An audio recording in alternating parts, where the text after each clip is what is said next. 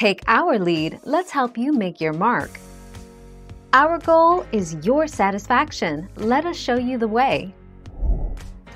Article 1, Section 5 of the U.S. Constitution provides that each chamber of Congress shall be the judge of the elections, returns and qualifications of its own members, and may punish its members for disorderly behavior.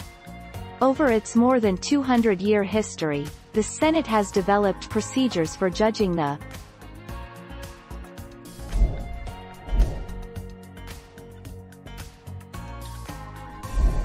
Let's help you make your mark. Article 1 Section 6 of the Constitution states members of Congress, shall in all cases, except treason, felony and breach of the peace, be privileged from arrest during their attendance at the session of their respective houses, and in going to and returning from the same, and for any speech or debate in either house.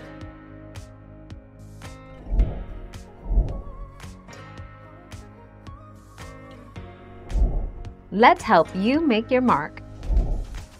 Each House may determine the rules of its proceedings, punish its members for disorderly behavior, and, with the concurrence of two-thirds, expel a member.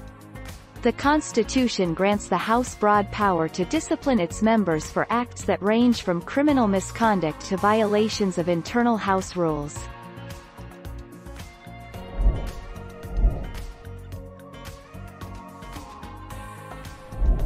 Make your mark, take our lead. McCormack 1969, limited the powers of the Congress to refuse to seat an elected member to when the individual does not meet the specific constitutional requirements of age, citizenship or residency.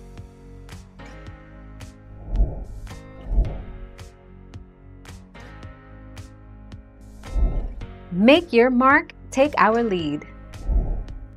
Members of Congress in both houses are elected by direct popular vote.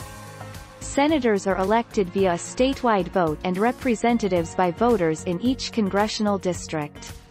Senatorial terms are staggered, so every two years approximately one-third of the Senate is up for election. Thank you for watching. Please subscribe and hit the bell notification.